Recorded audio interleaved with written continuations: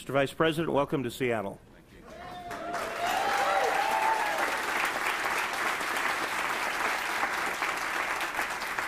I want to thank uh, everyone who is here this morning uh, for this event, uh, for taking the time to be here. Your presence uh, says a lot about the importance of this issue that we're talking about today and about Seattle's commitment to make a difference, uh, but not only for our city, uh, but for the world. A year ago, on February 16, 2005, I launched the United States Mayor's Climate Protection Agreement. And I did that because the issue of uh, climate disruption, of global warming, is one that we've known about for a long time. But it's one that I think many of us treated as being far away or long into the future, not something we needed to worry about. And uh, as uh, I've uh, experienced uh, this last uh, winter, a year ago, and met every week with Superintendent of City Light Jorge Carrasco and uh, the head of Seattle Public Utilities, Chuck Clark, and we talked about the fact that we had a record low snowfall and the kinds of uh, things we were going to need to ask the people of Seattle to do in order to conserve water because we did not have that snow uh, melting in the Cascades. Uh, it became clear that global warming is not something far in the future. It's not something far away. It's something that is here, it's now, and we have a responsibility to take action. And so on that day, I asked the people of Seattle to work with me to take local action to meet the reductions called for in the Kyoto Protocol. On that day, it went into effect in 141 countries as law, but not the United States of America. And as an American, I'm embarrassed by that. The, um, the fact is that I wasn't sure we could get 141 cities to join with us, one for each country, but I asked the staff at the Office of uh, Sustainability and Environment and my staff to try and meet that, that goal, to have mayors from around, around the country to join with Seattle in taking that kind of local action. And I'm proud to report that as of this morning, uh, with the signing uh, of the U.S. Climate Protection Agreement by the mayor of Lawrence, Kansas, we now have 219 mayors across America.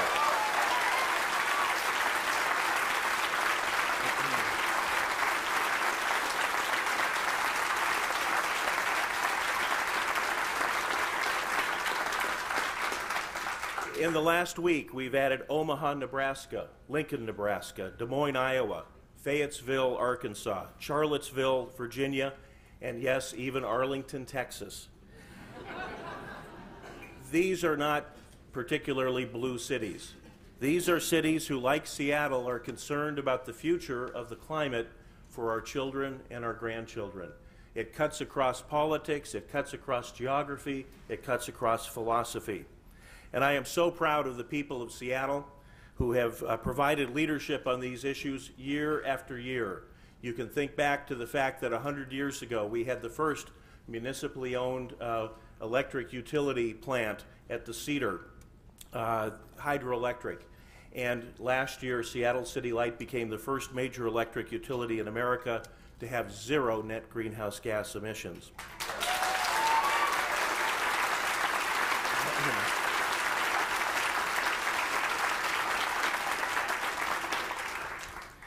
We, uh, we called the events that we had yesterday in the city a climate of change uh, because it is going to take change on the part of each and every one of us if we're going to avoid the catastrophic effects of global warming.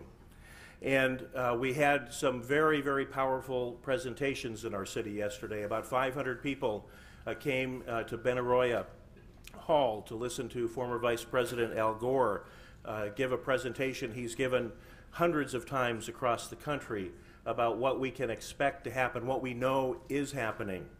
We had about 300 people at Town Hall later in the evening to listen to Elizabeth Kolbert, who authored a, a magnificent three part series in The New Yorker about climate change and who shared both the scientific and, and stories that she had learned in her travels from Greenland to Alaska to the Antarctic in uh, observing and reporting on this, uh, this uh, event. Um, so here we are today, having gotten those very, very sober presentations yesterday, And Seattle has an opportunity to make a huge difference uh, for this country and indeed for the world. Today, my Green Ribbon Commission, 18 of our most respected community leaders are going to present their recommendations for Seattle to meet and exceed the Kyoto Protocol reductions. Today is about choosing the future that we want. It's not going to be easy, but on the same uh, token, it is not impossible. It can be done. It will require us to act together and to change some habits, some very old habits that we have. But in one sense, we are lucky. We still have a choice. And it is an issue that uh, I think Vice President Gore is going to tell you uh, in a few minutes that can bring us together as a city, as a state, and as a nation around a common purpose. And that purpose is the survival of our species. We can choose to change today and begin moving in the right direction, or we can choose to do nothing and to face the consequences of a changing climate for ourselves, for our children, and for their children. Today, Seattle chooses the first path, and we begin down that path toward a solution to this challenge. Most of the commissioners are here today from the Green Ribbon Commission, and the report is going to be presented by Commissioners Denis Hayes, who is co chair of the commission, Tom Crowninshield, and Yolanda Sinde. Uh, Denis, thank you for your leadership in, in uh, co chairing the committee. I know a year ago when we called you together, I promised it'd be a six week task. Um, I knew better. I knew better. And so did you. Uh, but you said yes, and I am so proud and so grateful to you and your fellow commissioners for the work that you've done. Thank you.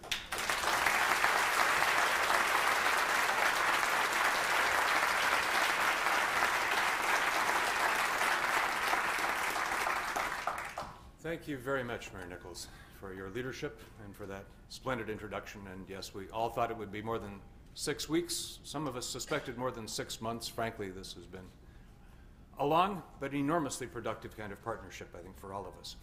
My, my co-chair, Orin Smith, intended to be here. He's the former CEO of Starbucks and played an integral role in putting all of this together. He went to Southern California for eye surgery. Uh, the, the good news is the surgery went well and he's healing, but not quite as rapidly as possible, and his doctor told him that he could not climb into a plane and have the change in air pressure or drive over mountain passes with the change in air pressure. And given the cost to him of attendance, I think we can all forgive him for not being here.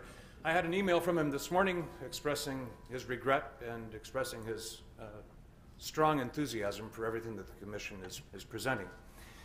What we are presenting is a big, complex document that is simplified in a number of pieces of paper that are available to all of you here today, but to the extent that you'd like to dig into any of it in more detail, there's a website, uh, www.seattle.gov backslash climate. Seattle.gov backslash climate. And it will get you into the appendices and give you ways to contact members of the staff and consultants and commissioners if you've got questions about any part of this, of this huge document. In conveying it to the mayor, I'm, I'm not going to go through the elements of it in part because relatively few of you are here this morning to hear me. Um, but rather, assuming that in something like this, we will be very lucky if you can take away one or two things, I want to make basically two points. The first takeaway point, somewhat in contradiction to the, the, some of the coverage that was received this morning in the paper, is that while this is just a first step in a long, enormous journey, it's an incredibly important first step. The mayor referred to as 219 cities. Those mayors were elected by 44 million citizens. If those 219 cities were clustered together as one nation, the population of that nation would be larger than the population of 90% of the nations that ratified the Kyoto Protocol. And this is a big deal.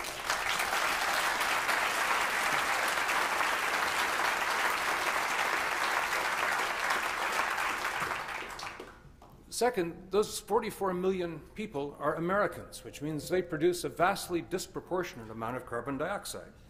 If you look at this group of cities successfully implementing the Kyoto Protocol, it has the same effect as the United Kingdom, that's England, Scotland, Wales, and Ireland, plus Holland, plus all of Scandinavia, Sweden, Norway, and Denmark.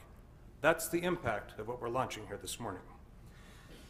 The second point has to do with something that the mayor referred to. It's the extraordinary record over a very long period of time of Seattle's city light, moving to be super energy efficient and now to be carbon neutral. Um, the good news is that that's a wonderful leadership model for the country. The bad news is that to get 7% of a small number in the energy business is a whole lot harder than getting 7% of a big number.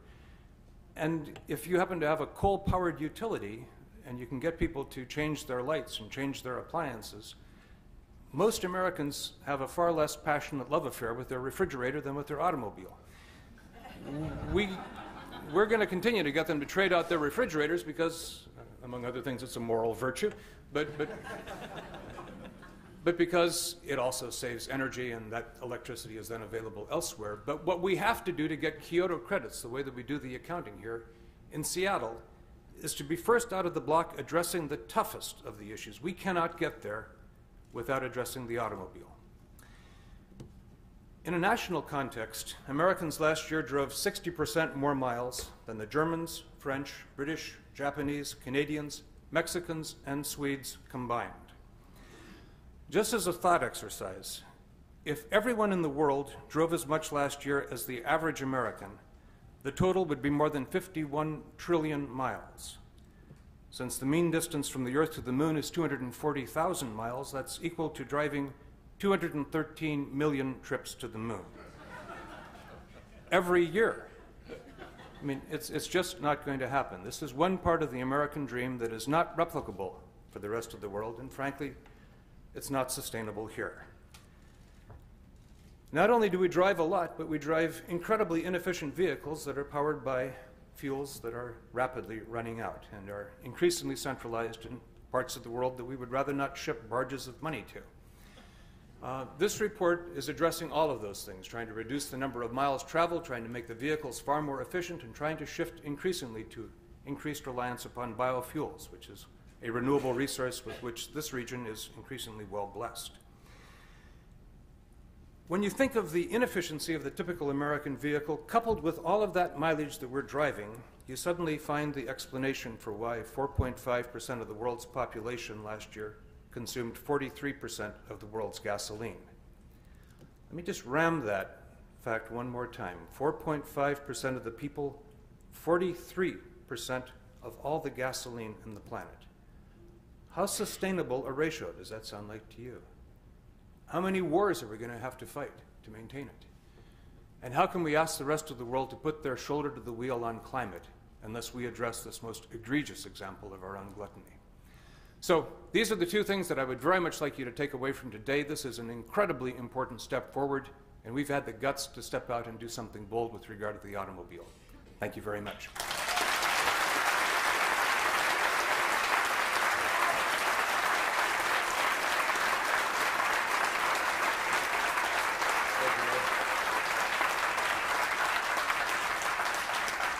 Good morning.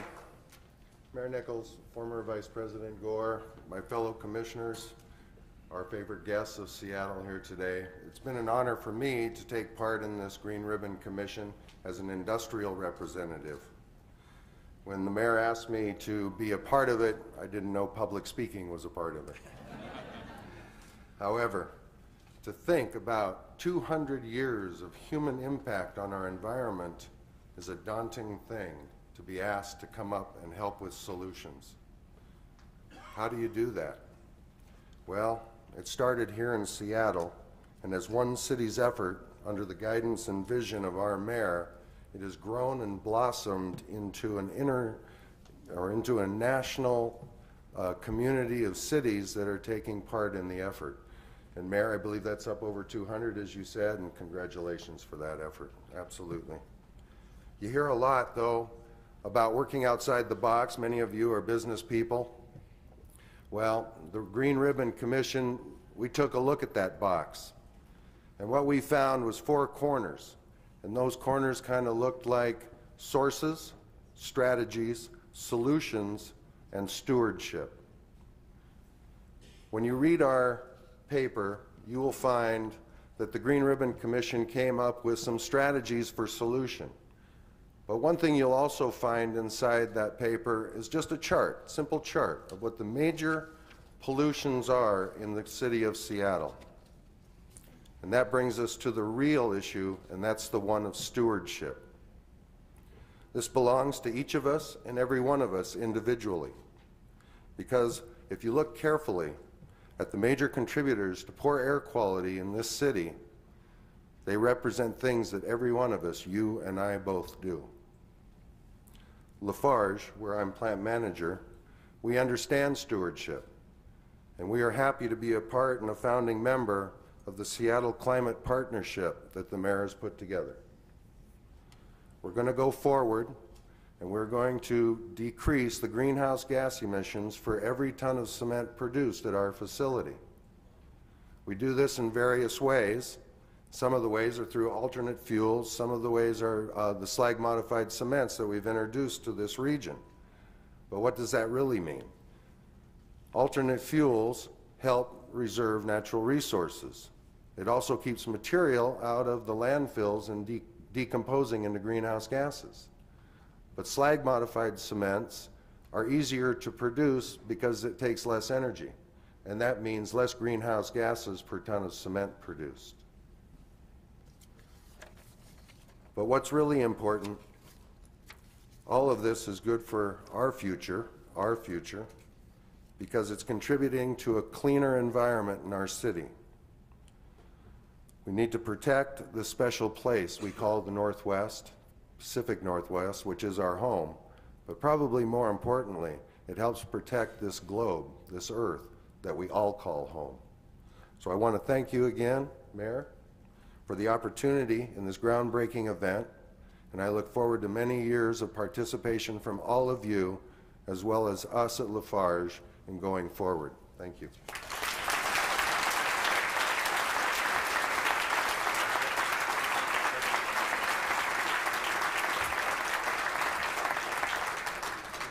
I want to thank the mayor and all the commissioners for the opportunity to represent community voices on the commission. Um, it's real important to understand that anything we do for climate protection helps us achieve environmental justice for all people, not only locally but globally, because whatever we do here affects everybody around the world. We are gobbling up the world's resources at an alarming rate, and we have a responsibility as Americans who are using up those resources to come up with solutions. I'm very excited to continue working with the mayor to take the plan from paper to action. And I'm committed to doing that in low income communities and communities of color in Seattle until we see that this plan is realized. Thank you.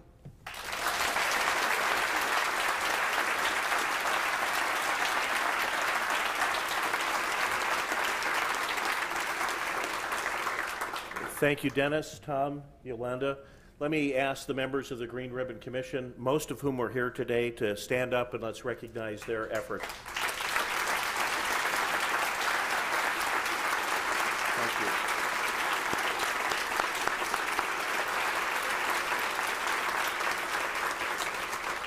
I want to tell you that I have had a chance, I've been briefed on uh, your recommendations. Of course, none of us have seen them before this moment uh, at all.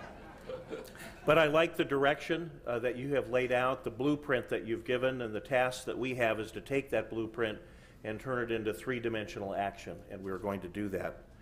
We're, uh, I'd like to highlight one of the Commission's recommendations that we're already uh, moving ahead on, and that is something that Tom referred to creating the uh, Seattle um, Climate Partnership.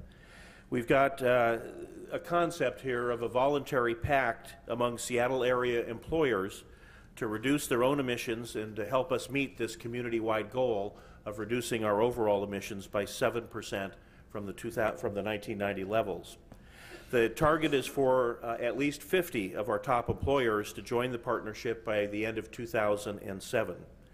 To, uh, as of uh, right now, six institutions have agreed to join with us. Uh, those are the University of Washington, the Port of Seattle, Starbucks, REI, Lafarge, and Urban Visions. And I want to thank them for being willing to step forward as a founding members of the Seattle Climate Partnership.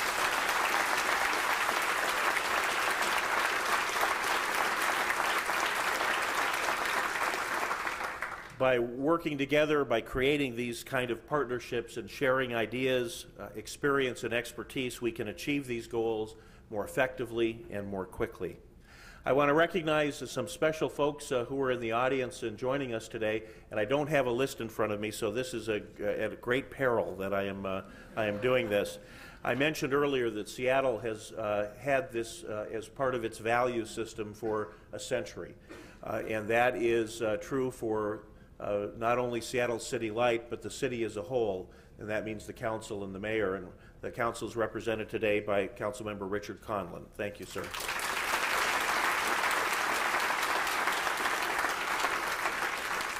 When we first uh, made this challenge, we reached out to some select mayors uh, uh, around the country and locally and asked them to be the initial inviters to the U.S. Mayor's Climate Protection Agreement. And one of those initial signers was our neighbor, uh, Redmond Mayor Rosemarie Ives. Rosemarie, thank you.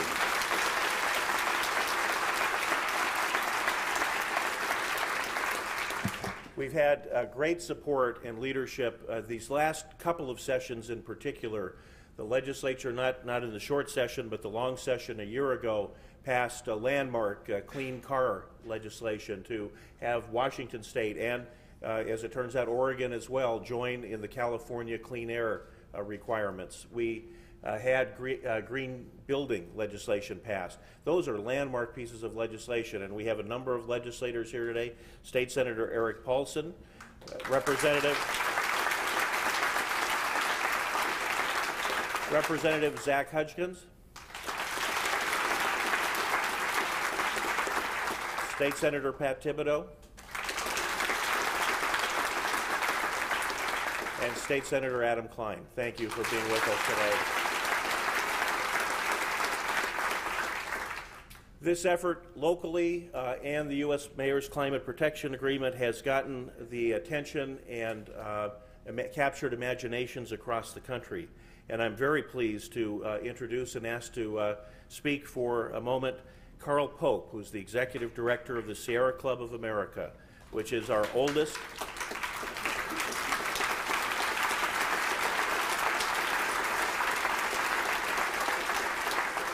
The Sierra Club, as we well know here in Seattle, is the oldest, the largest, and most influential grassroots environmental organization in our country.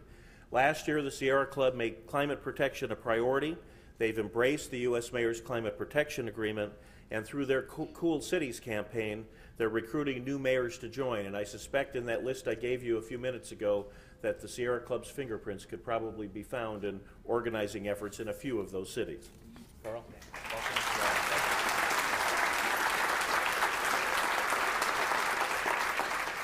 Thank you very much. It's really a thrill to be here. It's a thrill to be here. I want to begin, Mayor Nickels, by thanking you for leading. I want to thank your Green Ribbon Commission for leading. Mayor Chavez, I want to thank you for leading. I want to thank the members of the Washington legislature who passed the legislation that the mayor referred to for leading.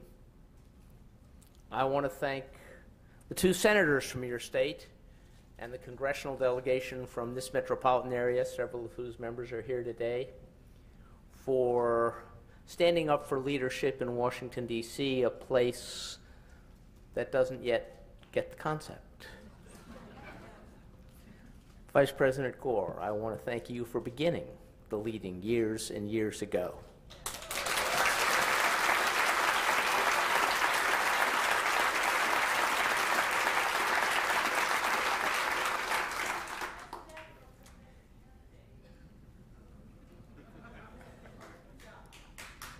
All right, let's have another round for the Vice President.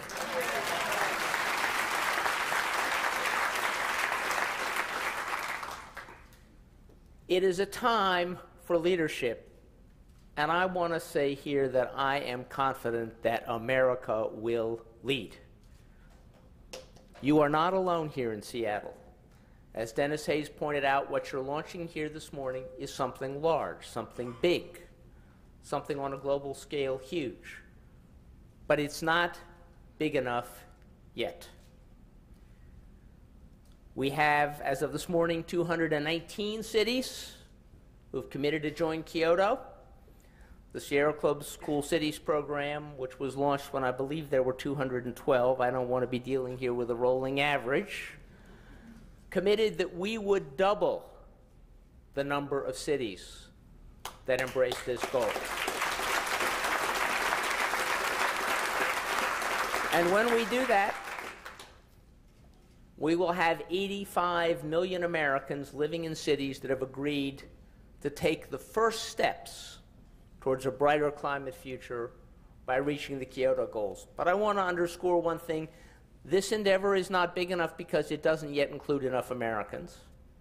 And I'm confident that getting our goal of doubling the number of cities is not going to be that difficult. Americans are eager to join in a solution to a smarter energy future, to a brighter climatic future. But what will be a challenge is the second part of the bigger. Kyoto, my friends, is not big enough. We need a bigger dream. We need a higher bar. We need more challenging goals.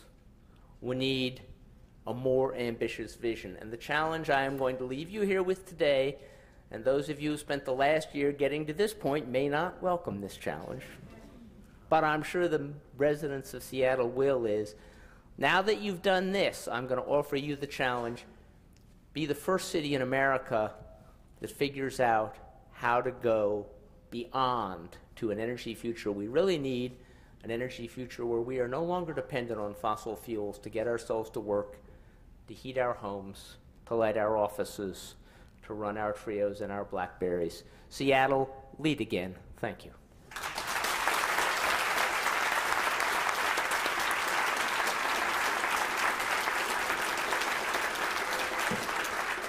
Thank you, Carl. It's, uh, we're very pleased that you joined us today. Thank you. And thank you for your great support through the Cool Cities campaign. Uh, mayors across the country are taking this challenge up. Uh, and each city is doing it in a different way. Each city has a different circumstance that they're facing. They're experiencing climate change in different ways. For us, a year ago, it was the loss of a ski season. It was a record low snowpack. It was the recognition that the snowpack we rely on for water and for power has been reduced by 50% since 1950. And that brought it home for us. Uh, one of the early cities to sign on to the agreement was Albuquerque, New Mexico. Three weeks ago, the mayor of Albuquerque, Marty Chavez, asked me to join him and Mayor Rocky Anderson from Salt Lake City, uh, Governor uh, Bill Richardson, Senator Pete Domenici, and Jeff Bingaman in talking to a group of 300 Albuquerquean residents about how they would put a plan together for that city. That summit, which lasted two days, has helped them to shape a plan much like the one that we are pursuing a goal of reducing their emissions by 7% or more from 1990 levels. And I am very pleased that Mayor Chavez is here today to join with us. Uh, it is a great city that he represents. It is a high desert city. It's very different than uh, Seattle, Washington, in the damp Northwest. They have different challenges. They're going to step up, and together, we and the other mayors across America are going to provide the leadership necessary for the United States to be part of the solution and not simply part of the problem. Join me in a great Seattle welcome for Mayor Marty Chavez.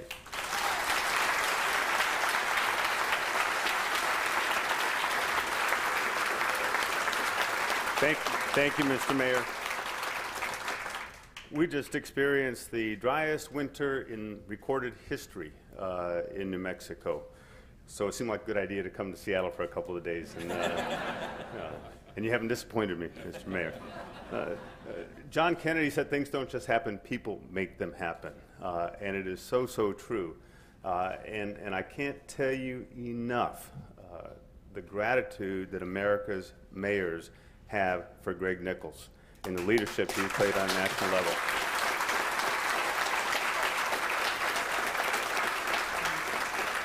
In great part because of his initiative, we now have our blueprint for success in the city of Albuquerque, and that's being replayed all around the nation.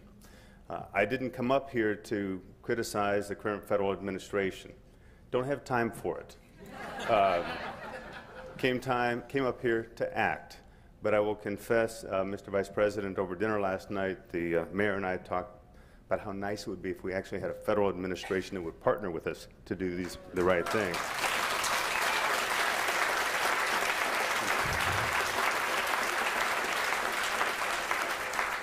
Albuquerque today is 65% compliant. Carl, I recognize that's a starting point, not the finish point, and we have so much more to do. Two weeks ago, I issued an executive order and said, City of Albuquerque is not buying any more non-alternative fuel vehicles. No five-year transition periods, two-year transmission, trans, uh, uh, periods in between. We're just not doing it anymore. The technology is there. It's time to move. Uh, and I came here as well.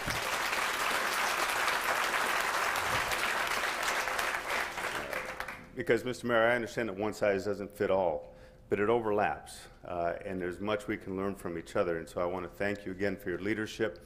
Uh, Mr. Vice President, um, as you know, we don't win every single battle, but because of your vision and your leadership, we're going to win this war. Thank you very much, Seattle.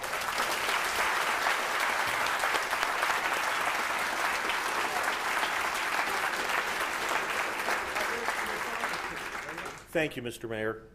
Uh, Congressman Adam Smith uh, from our area is known in Washington, D.C. as someone who puts his vote where his mouth is. He earned a 100% rating by the League of Conservation Voters for his work to ensure funding for the Energy Star program and tax credits for renewable energy. The U.S. administration may not be there, but uh, our members of Congress are, and I want to ask Congressman Smith to tell us about the efforts in the United States House of Representatives. Congressman?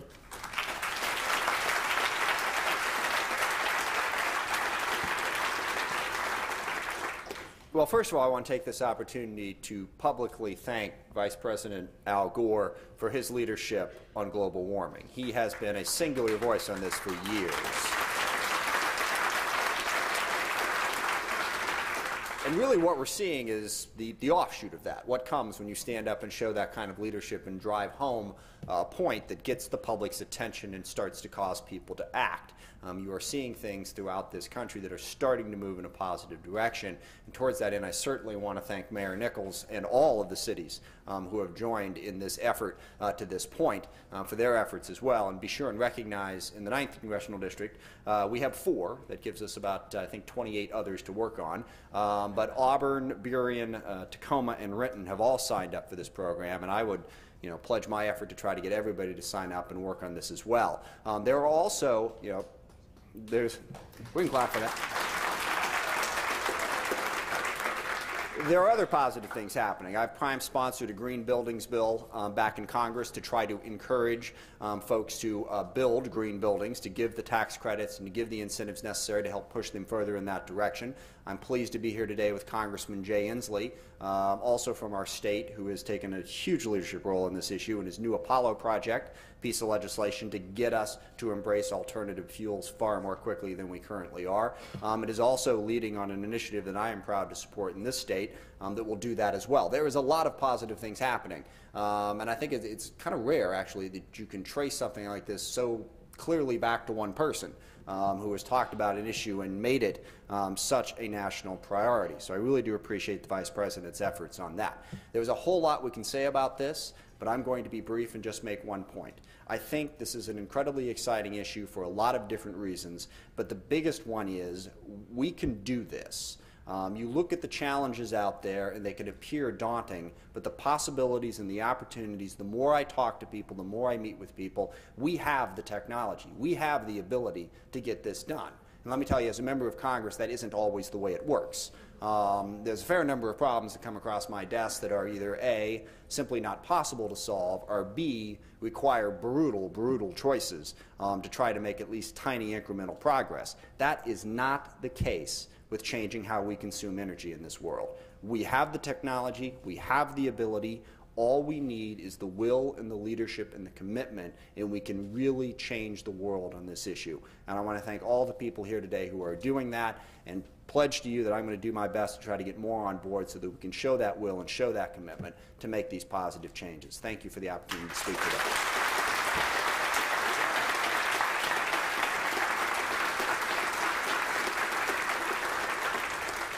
Thank you, Congressman Smith. Congressman Smith mentioned that we're also joined by uh, Congressman Jay Inslee from the 1st Congressional District uh, here in Washington State. Uh, Congressman Inslee is, and don't ever get this wrong because I did once, uh, is a graduate from Seattle's Ingraham High School. Uh, and when he was there, he was known as sort of an elbow, elbows out basketball player. He went on to the University of Washington, and he tackles climate change and environmental issues with his elbows out. And I'm very happy that that's the case. He has been a strong and passionate advocate for us in the nation's capital, and he is articulate in talking about the need for our nation to step forward on these issues. It's my pleasure to introduce Congressman Jay Inslee.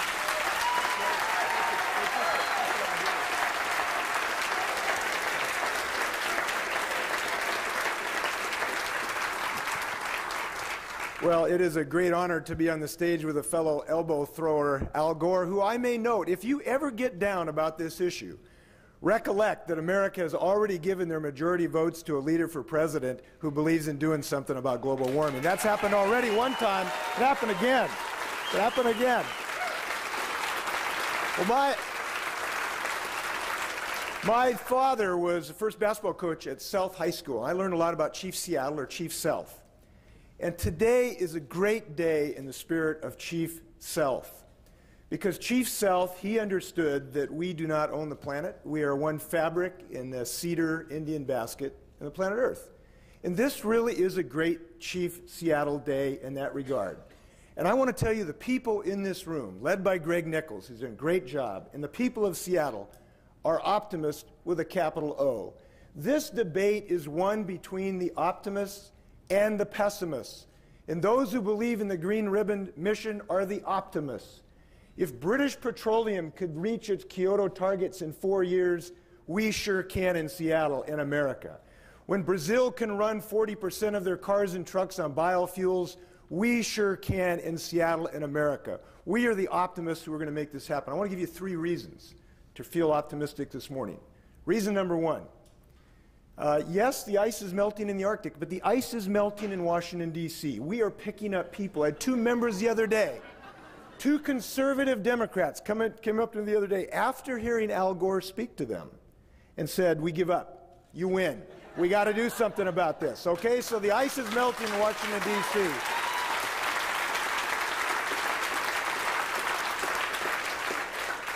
Second reason this Spirit, this message is currently available to you in Washington, D.C. Some of us believe that we've got to tackle with the same bold vision of John F. Kennedy. He said we're going to the moon for 10 years. We think we should have the same vision on this issue. And the new Apollo Energy Project I've sponsored is going to come to pass. And Denis, I can tell you, your spirit's alive in Washington, D.C. in the new Apollo Energy Project. And I hope you're going to help me pass it, too. And we need a little help in that regard. Second, second, reason for optimism.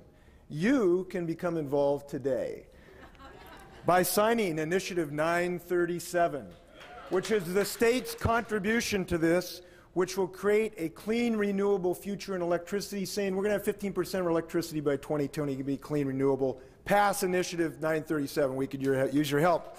Third thing I want to say. Third thing you can do to help this effort it's really interesting. I kind of noticed, Greg, due to your great leadership, we have 219 cities on this now. That's interesting because to pass the new Apollo Energy Project, you need 218 votes. We have 219 cities.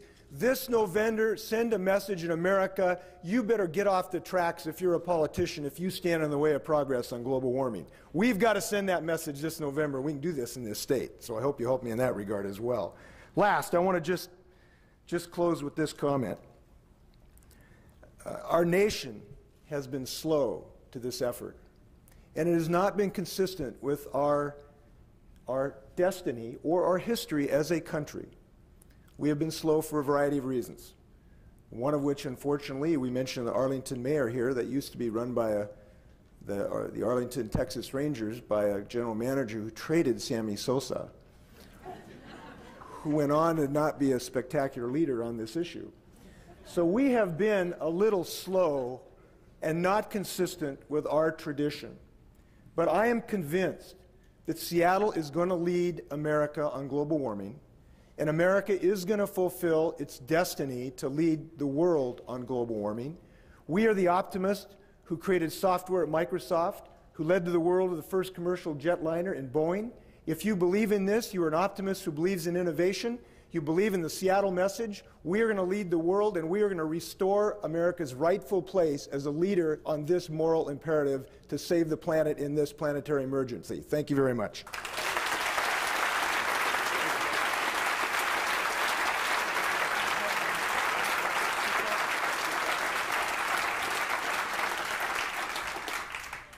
Last, but not least, it is my uh, great honor to introduce to you someone who has talked and acted and brought the nation's attention to this issue for uh, the last decade and a half.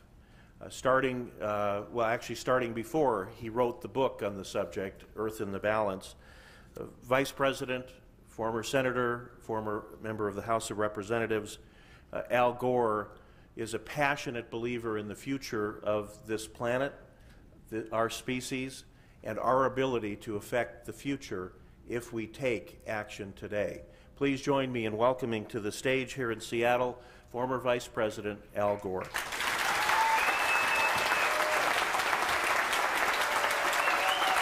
Thank you very much. Thank you very much. Thank you. Thank you very much. Thank you. Thank you so much. Thank you for the uh, wonderful introduction and to all of those who have spoken. I agreed with everything I heard. Uh, to those in the back, thank you for the leading the standing ovation. I'm uh, really appreciative.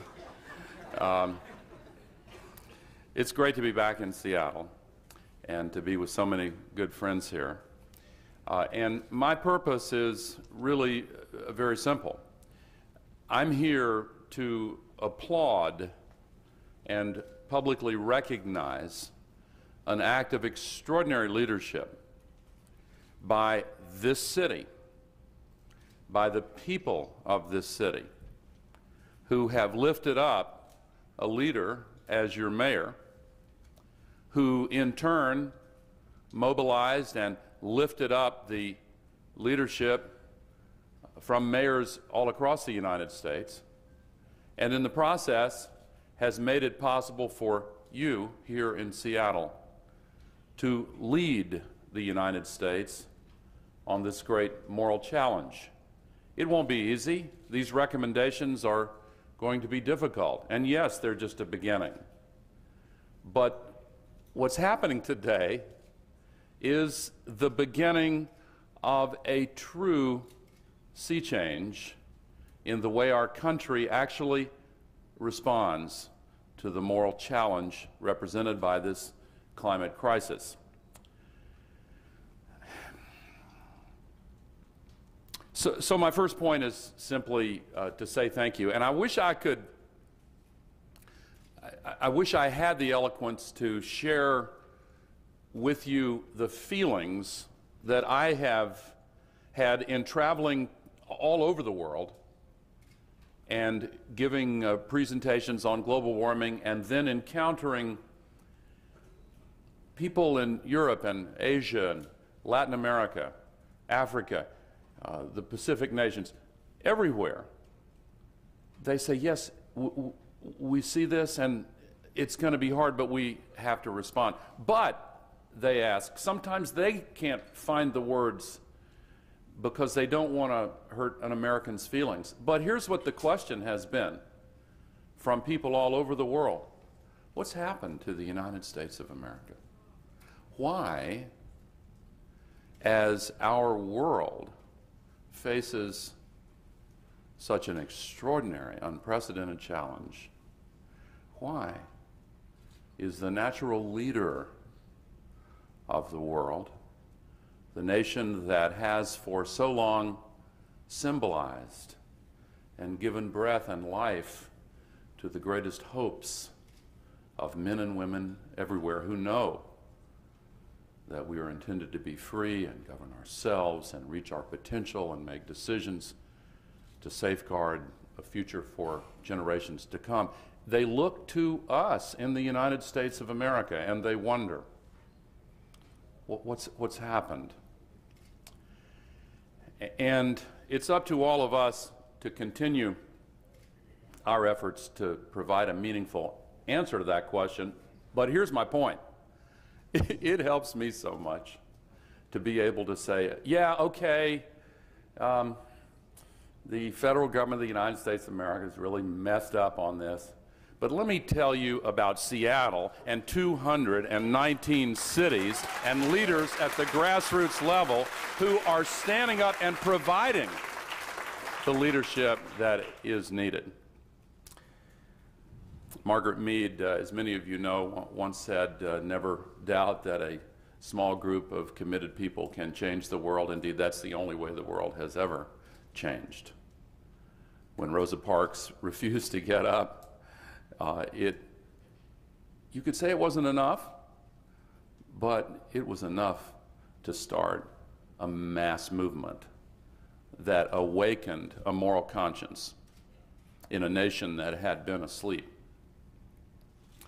This, as others have said, is really not a political issue. It masquerades as a political issue. It's disguised as a partisan conflict. It's really not. It is a moral challenge, an ethical challenge, it is a spiritual challenge because it runs to the very essence of who we are as human beings. We represent an incredibly complex collection of potentials, both for good and for bad. But at moments when history has challenged us, we have often found the ability to respond by transcending those limitations and reaching out for as Lincoln said, the better angels of our nature. At the time of America's greatest challenge, President Lincoln said, We must disenthrall ourselves, and then we will save our country. And now, in this time, we must disenthrall ourselves from the habits, the illusions, the comforting reassurances that we don't have to change. And hear what Greg Nickels and these leaders are saying. There's an old African proverb that goes like this When you pray, move your feet. Many of us have prayed for the sea change that we've referred to here on this planetary emergency. But Greg Nickels is showing us how one city, in moving its feet and mobilizing action, bringing together men and women who have put in countless hours in working out very difficult details, embodying the business community and all parts of the greater Seattle community. I have been watching this movement since it began, and a couple times I've been uh, called in to uh, like a traveling minstrel. Uh, he collected, uh, he and Marty Chavez, a longtime friend, and, and other mayors, they collected a bunch of likely recruits down in, uh, at Sundance and got them in a room and said, okay, now give them your slideshow. And then they waited at the door saying, okay, we'll sign you up, we'll sign you up.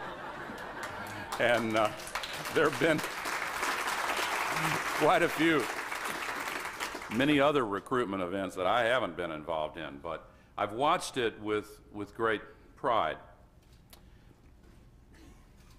Carl Pope, um, another great leader, said that Kyoto is, is not enough. I want to address that. How do we change in America? How do we balance the art of the possible with the need to expand the limits of what is possible. This is a challenge to our moral imagination. And the hard truth is that as of this moment, the maximum legislation or change in law or programmatic change that you can possibly imagine is something that falls short of what eventually will be needed. That's not to say that what eventually is done is going to be impossibly difficult and painful. Not at all. Most of what needs to be done represents changes that we should be making for other reasons anyway. It's not necessary for us to take 3,000 pounds of metal with us everywhere we go. and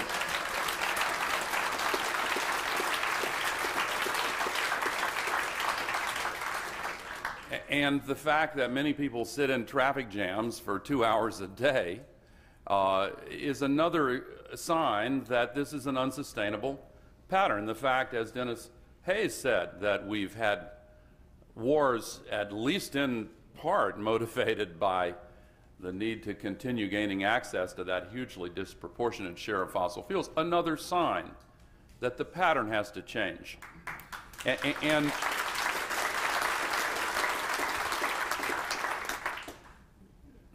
this planetary emergency, and it is a planetary emergency, is actually the second one we've had in 20 years.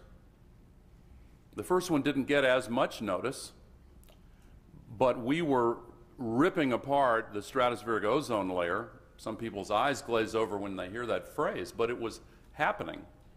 And it still is, but to a much lesser degree. And they said it would be impossible to phase out the chemicals that were causing that planet wide uh, catastrophe. But the United States of America, under a Republican president and a Democratic Congress at that time, took the, took the lead in coming up with a treaty to start solving the problem, the Montreal Protocol. Here's the reason I'm bringing it up it was not enough. And if you looked objectively at what full compliance with that treaty would accomplish, it, would, it was not going to solve the problem. But here's what happened it represented the maximum that was politically imaginable, right at the outer boundary. But then, when people shifted their center of gravity and started doing those things necessary to comply with that first step, they discovered that it was a lot easier than they thought it was going to be. And it opened up new opportunities that they didn't know existed. One business, Northern Telecom, they had a big facility in Nashville. They were based in Canada and had a pride, sense of pride that the first treaty was there. And the CEO said, We're going to be the first in our industry to completely get rid of these CFCs, these chemicals that are causing the problem. And his engineering staff said, well, that sounds great, but we have no idea how we're going to do that. He said, I don't care. We're going to do it. We're going to find a way. And they started asking questions that they had never asked before. Everybody was focused on okay, what new chemical compounds can we put together that would substitute for these ones that are causing the difficulty? We're using these chemicals to clean circuit boards.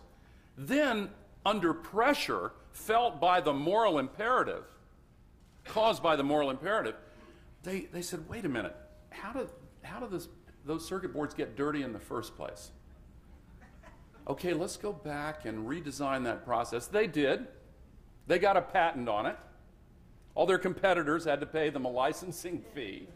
The new process was cheaper, higher quality, better, faster in every respect. They beat their deadline by three years and led the industry. Then the world, inspired by similar success stories in the business community in sector after sector, said we can do more. And less than three years after the, that first treaty in Montreal, Margaret Thatcher hosted an international gathering at which the so called London Amendments were adopted raising the bar, making it harder but the business community and all of the rest of us were by then ready to expand the limits of what we were possible, of what we believed was possible. By setting this bar for Seattle and the other cities that are committing to clear this bar, you are beginning to ask questions that you didn't ask before. And you're finding answers that make it really clear that this is an opportunity to do a lot of good things. Last night, I, I said in the gathering of uh, business and political and civic leaders, you know, I've gone around the country and around the world in meetings with leaders to try to change minds one at a time. And I'm glad we got a couple of those uh, congressmen who said they gave up. uh, I gave it to a group headed by Grover Norquist in uh, downtown Washington. One person there stood up and said, I agree with you.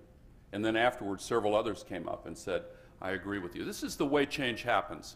Get the politics out of it if you can, and give people a chance to, to look really at that moral imperative. So uh, we, we now have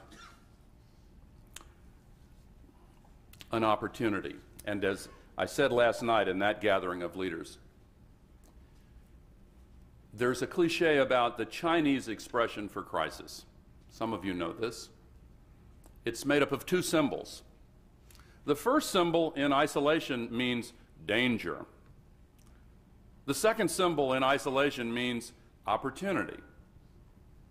There's a richness of meaning in their compound expression for crisis. Sometimes we hear crisis and go, oh, what are we going to do? And there has been appropriately a lot of emphasis on the danger that we face. Because until it's recognized and understood and internalized, we are not able to face it down and move through it to seize the opportunity. But trust me, as we do, we will find an extraordinary set of opportunities.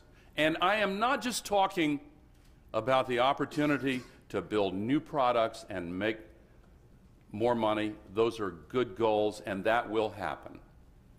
I'm talking about an opportunity that is far more valuable because this challenge will give us an opportunity to experience what few generations have the privilege of feeling during their time on this planet. This is an opportunity for all of us to share a common moral purpose and to rise to meet that moral challenge. And in doing so, put aside many more of the differences, the, the pettiness, uh, the bickering that we're all vulnerable to as human beings, but instead to focus together on a challenge that is worthy of our greatest efforts. As we rise to meet this challenge, we will find an opportunity for vision and moral clarity that may well give us the ability to see other challenges now disguised as political problems and reveal their true essence as moral imperatives with practical solutions.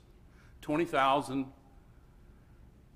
People die every day on this planet from easily preventable diseases. Many 747 worth of people crashing every day. If we could see with a clear vision the ability to prevent that challenge, there are many opportunities. Let me give you an example of why. The generation of my father and many of your parents rose to meet the challenge of fascism and won a war in the Atlantic and the Pacific simultaneously. And for all the difficulty and suffering, the feeling they had in doing something that was so great and worthy gave them the ability to see more clearly the other opportunities the Marshall Plan, NATO, the United Nations, the foundation for peace and prosperity that we've coasted on for 50 years and more. Omar Bradley said in that era, immediately at the conclusion of World War II, it's time we steered by the stars and not by the lights of each passing ship. And they rose and they came back home and took on the challenge of segregation. And around the world, peoples threw off the yoke of colonialism. And with all of the difficulty, they seized a new vision of what we could become. This challenge.